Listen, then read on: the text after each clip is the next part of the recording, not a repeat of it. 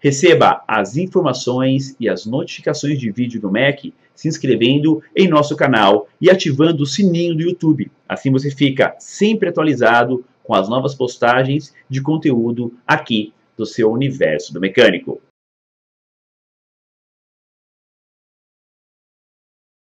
Pessoal, essas duas palavras, ó, usar e explorar. Vamos pôr aqui na tela duas fotos aí de scanner para vocês, ó.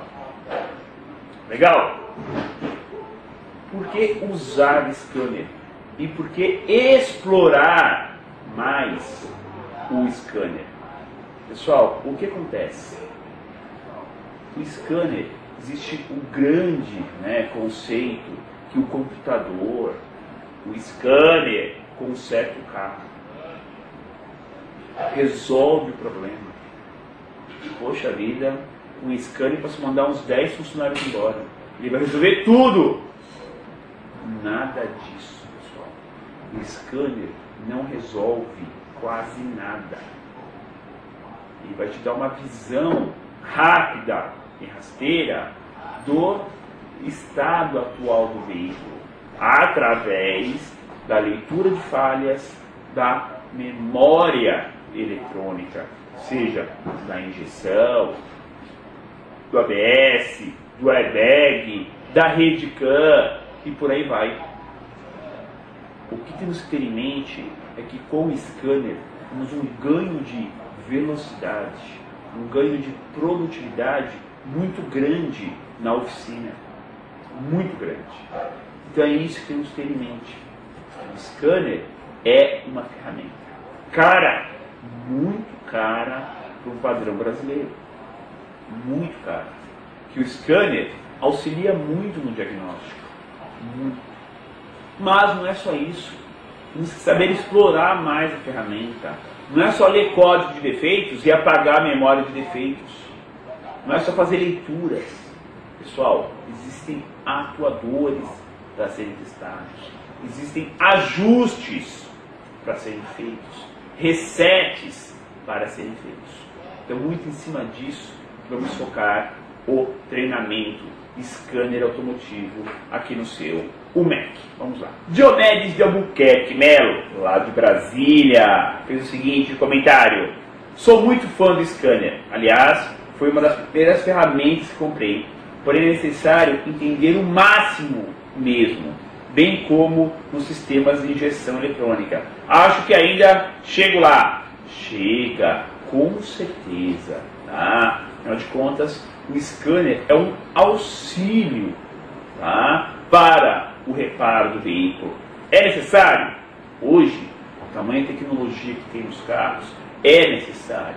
Tá? Mas, mesmo sem scanners, é possível fazer muitos serviços no veículo. Muitos. Até mesmo na injeção eletrônica. Tá? Mas, o scanner te dá o que? Velocidade Pessoal, hoje o tempo é curto demais. Então o scanner auxilia muito na questão de velocidade do veículo. Zé Carlos Santana Filho. Olá, Estupino. Comprei o scanner há bem pouco tempo e utilizo pouco ainda. Tá? Tenho muita dúvida no que se refere ao AF. Vamos ter dicas sobre como ajusta o AF? Sim, certeza. Tá? Agora, a questão é a seguinte: o ajuste do AF, tá? Né? Que o AF, em relação ao ar combustível, né? É fio, tá? É necessário somente em algumas ocasiões. Ele é feito automático no dia a dia. A própria injeção eletrônica vai corrigindo e vai se ajustando.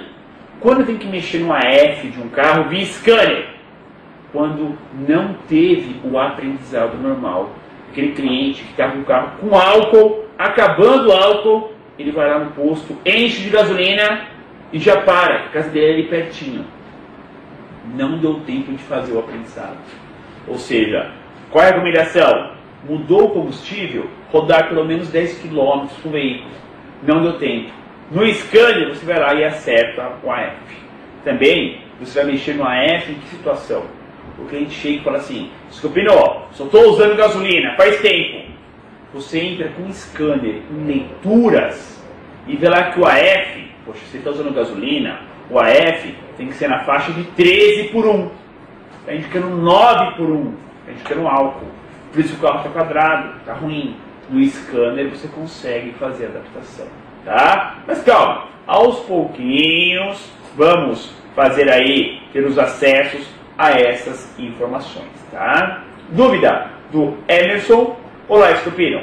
O padrão ALDL dá para acessar de scanner ou só por código de escadas? Pelos dois.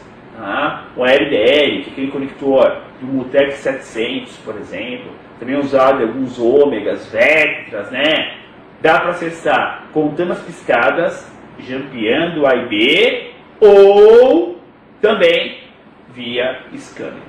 Marcelo Reinaldo Godoy, professor, no TEC 2, que é o scanner GM, temos até a opção de três mapas de ignição para programações, dependendo da quilometragem do veículo. Por exemplo, Vectra, com a injeção M154.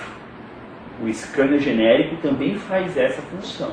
Tá? Também você programa os três mapas tá? de ignição. Só que não é o TEC 2 que resolve isso. É que a GM liberou essa programação para esse Vectra M154. Ou seja, não é o scanner que fez a diferença, foi o que a montadora disponibilizou. Tá? Dica: em um conector padrão OBD2 e OBD ou OBDBR, não há riscos de queima do scanner, ou de disparo ou danos em algum componente. O que não devemos fazer é o quê? Não pode inventar, né? Tentar pinar o conector ali, adaptar alguma coisa sem conhecimento.